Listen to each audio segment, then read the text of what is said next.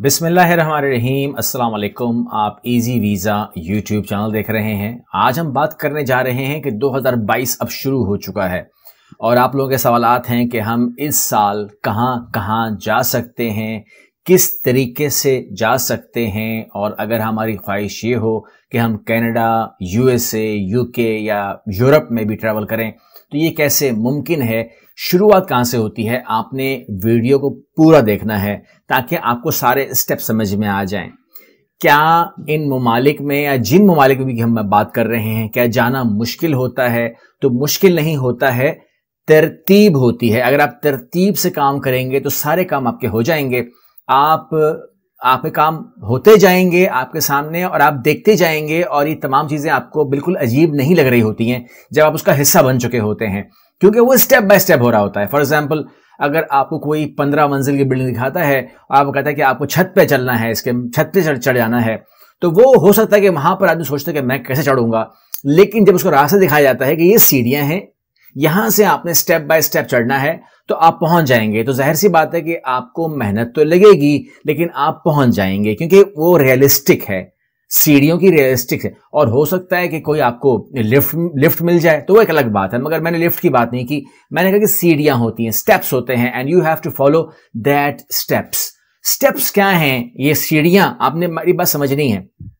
उसमें यह है कि हम विज़िट वीजाज की बात कर रहे हैं, वहाँ जाके आपकी जो मर्ज़ी आप वहाँ पर अपनी मीटिंग करें, अपनी जॉब इंटरव्यूज़ दें, आप कोई भी करें, वो आपकी मर्ज़ी है। लेकिन हम बात कर रहे हैं कि बगैर किसी शर्त के, यानी कि जैसा होता है ना आइल्स या ईसीए रिपोर्ट या तमाम चीज़ें, या जो भी आप कहते हैं, वो तमाम की चीज़ बातों के अलावा आप सिंपली वहाँ जाने की बात कर रहे हैं।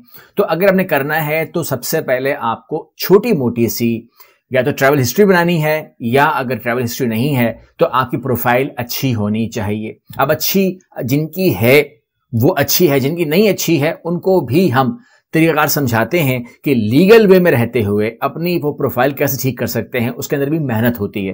वो भी हम बात कर लेंगे, अगर वीडियो लंबी ना हुई तो मैं इसी वीडियो में बात कर लूँगा, वरना आने वाली वीडियो में बात करूँगा। आप चैनल को सब्सक्राइब करेंगे, मेरे साथ रहेंगे तो आप भी देख लेंगे। उसमें यह है कि सबसे पहली बात यह है कि आपने अगर किसी भी मुल्क में अप्लाई करना है वीज़ा ज़ाहिर है मैं कतर की बात नहीं कर रहा हूँ, दुबई की बात नहीं कर रहा हूँ, उन ममालिक की बात नहीं कर रहा हूँ जहाँ पर दूसरा वीज़ा आता है, एक और सिस्टम का वीज़ा आता है। वो बात नहीं कर रहा मालदीव मालदीव ऑन अराइवल है, ऐसी बात नहीं कर रहा हूँ, यहाँ तो आप जा सकते हैं, कतर आपके लिए है, आप जा सकते हैं कंडीशन पूरी कीजिए, आपको कुछ नहीं चाहिए, आप मालदीव ऑन अराइवल चले जाएँ, कोई प्रॉब्लम नहीं है। पाकिस्तान के लिए वैसे भी छत्तीस मुल्क ऑन अराइवल है, वहाँ चले जाएँ, वो लिस्ट अवेलेबल है, मैं दोबारा वीडियो बना दूँगा दो दो बार बना चुका हूँ।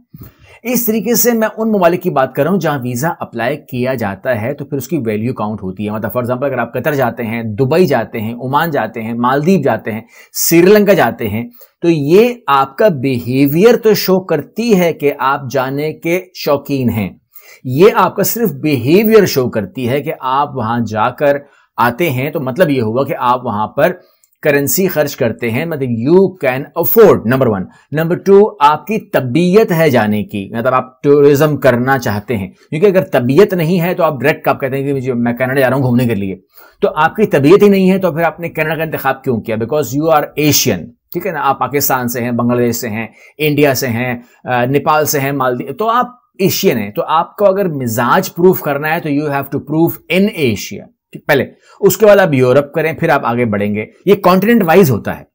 जिस आदमी ने अपना एशिया नहीं देखा उसे हक भी क्या बनता है? अब आज लोग यहाँ पे कमेंट्स अजीब अजीब कर देते हैं कि भाई आ, मैं उनसे कहूँगा कि मुझे सिंगापुर पसंद नहीं है। मैं उनसे कह दूँगा मुझे आ, ये फलां मुल्क पसंद नहीं है। भाई आपने जो चीज़ देखी ही नहीं है।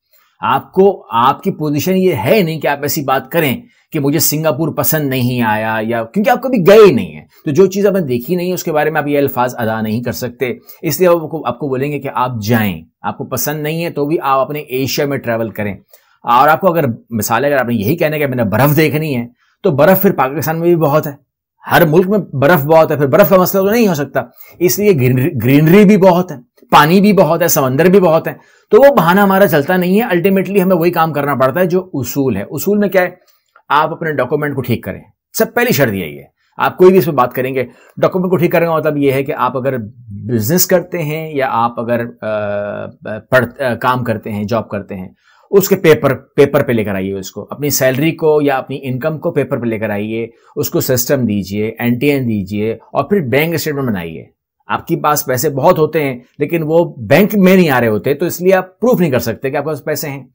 इसलिए आपको तमाम चीज़ें पेपर करनी पड़ती हैं। पेपर कीजिए चेकलिस्ट पूरी कीजिए, क्योंकि जो आते हैं ना, वापस कॉल्स आती हैं कि बैंक स्टेटमेंट तो आप बना के देंगे ना, आपकी बैंक स्टेटमेंट होनी चाहिए ओरिजिनल उसके अंदर आपके पैसे होने चाहिए। हमारी बैंक स्टेटमेंट के ऊपर आप कैसे फ्लाई कर सकते हैं?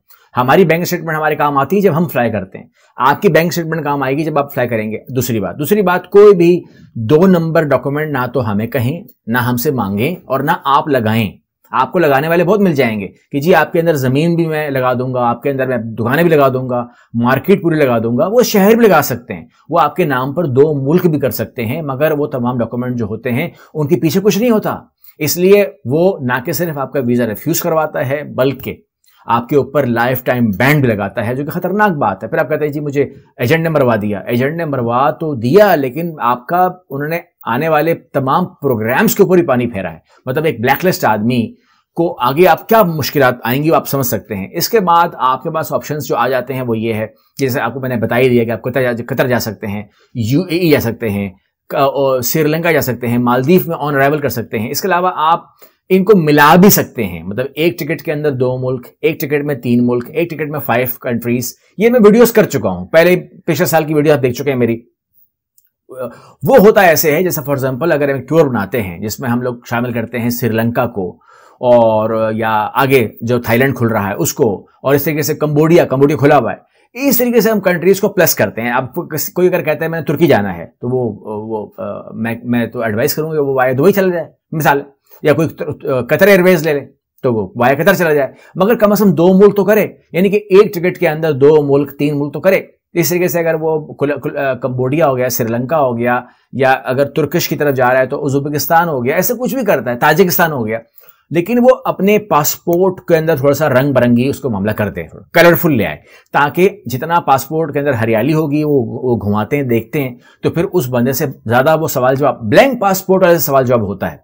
अब ब्लैंक पासपोर्ट वाले के अंदर बात होती है। यानी कि ऐसा नहीं है कि ब्लैंक पासपोर्ट को वीज़ा नहीं मिलता मिलता है, लेकिन उसकी पर्सनैलिटी ऐसी होती है फॉर एग्ज़ाम्पल जिस आदमी ने ये वीजे लगवा लिए ज़्यादा मुश्किल नहीं है। अगर आपका लीगल काम है, अगर आपके पेपर पे काम है तो वीज़ा मिल जाते हैं, कोई मुश्किल बात नहीं है, कोई बड़ी बात नहीं है। आपको डराते क्यों है ये एजेंट वगैरह? ताकि आप अप्लाई ना करें, आप सीधे उनके हाथ में पैसे रखें। उनका मतलब ये होता है। तो इनकी बातों से मत डरा करो। ठीक है ना? दूसरी बात यह है कि हम यूरोप की बात करनी है, हमें यूएसए की बात करनी कनाडा की बात करनी यूके की बात करनी लेकिन इससे पहले मैं इन्फॉर्म कर दूँ कि कल भी मैंने कहा था कि हमारी कोई ब्रांच नहीं है। अब ब्रांच और चीज़ होती है। ऑफ़िस मौजूद है। ऑफ़िस है। ये जो नंबर आप देख रहे हैं ना, जिस पर आपने बुकिंग करवानी है अपने वीज़ा के लिए, ये नंबर ऑफ़िस के हैं। आप अगर यहाँ फ़ोन करेंगे तो आपका नंबर ऑफ़िस में जाएगा। तो ये जो लैंडलाइन नंबर्स हैं, ये कराची के नंबर हैं। हमारा ऑफ़िस इसे कहते हैं ना ऑफ़िस कराची में मौजूद है। ठीक है ना? पिछले 2015 से मौजूद है। वो मसला नहीं है। आप सात साल से इसके साथ कनेक्ट हैं। लेकिन कोई इसकी कोई ब्रांच या कोई इसका एजेंट नहीं है पूरे पाकिस्तान के अंदर। हमने ये कहा है।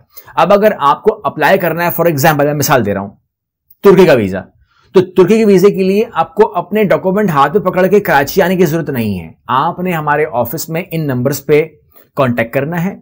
उनसे चेकलिस्ट मंगवा लीजिए, इतना कर लें।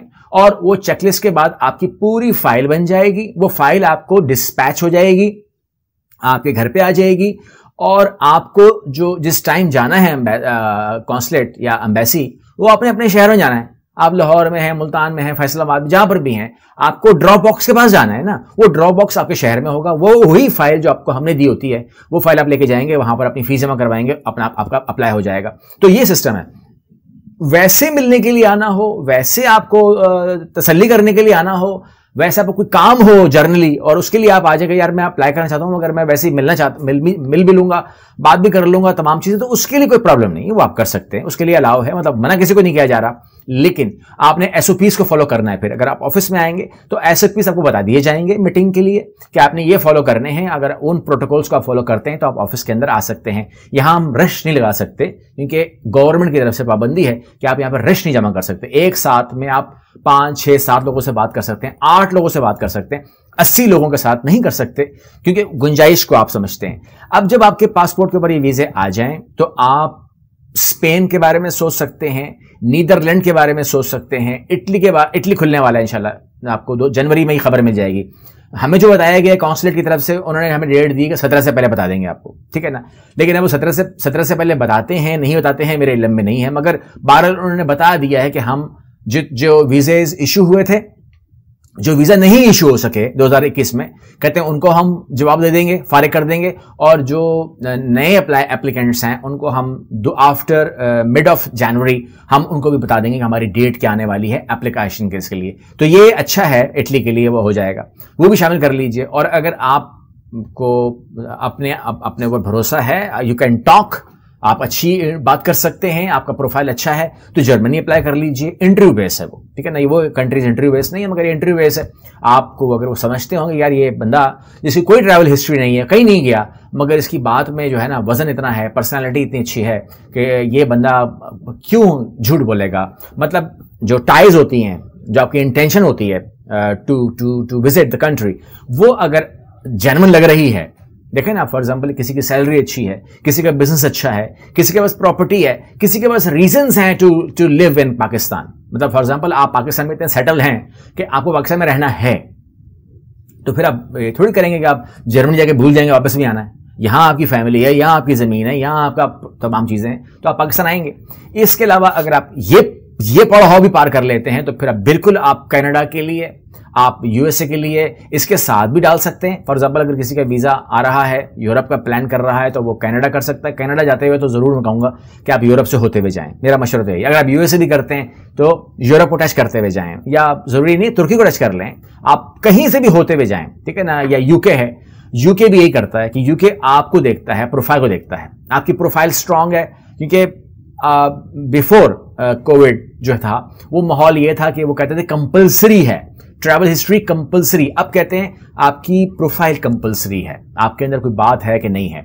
दूसरी बात, आपने बिल्कुल इन नंबर्स के ऊपर आपने फ़ोन करना है ऑफ़िस के नंबर्स हैं, आप बात करेंगे लोकेशन पता लग गई है आपको लोकेशन समझ में ना आए तो फिर आप लोकेशन ले सकते हैं मैप ले सकते हैं, कोई इशू नहीं है। एड्रेस ले सकते हैं, बात कर सकते हैं अपॉइंटमेंट बुक कर सकते हैं। अपॉइंटमेंट के बगैर कोई एंट्री नहीं होती है यहाँ पे, ठीक है? अगर आप सर्च करके ऐसे खड़े हो जाएँगे सामने तो ज़ाहिर से बात है हमने उस मैनेज करना है, हमने रश को मैनेज करना है। तो जिन लोगों को हम आज बुलाएँगे, कितने लोगों को बुला सकते हैं? टाइमिंग हमने डिस्ट्रीब्यूट की होती है तो उन टाइमिंग्स के अंदर हमारे इंटरव्यूज़ चल रहे होते हैं, बातें चल रही होती हैं, मीटिंग चल रही होती है, और हम उनको ब्रीफ कर रहे होते हैं तो ज़्यादा रश नहीं लगा सकते। आप जर्नली लोग आ जाते हैं बाजू का तो वो उनकी मेहनत है, उनकी मोहब्बत है, मगर हम लोग के पास लिमिट है।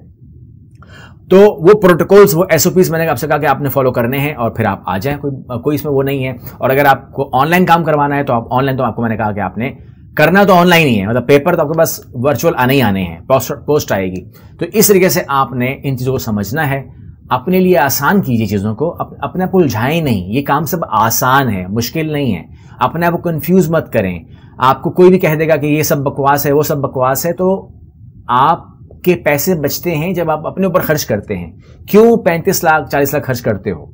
क्यों नहीं लीगल फॉर्मेट में रह करके आप, मैं समझता हूँ कि अगर आपने अगर स्टेप वन से भी शुरू किया तो आपका ये ये कम से कम कॉस्ट नहीं कवर होती कि आप दस लाख भी नहीं पार करेंगे, पाँच लाख भी पार नहीं करेंगे, आपका काम हो जाता है, जो कि बड़े बड़े काम आपके हो जाते हैं और आप कुछ देख भी लेते हो।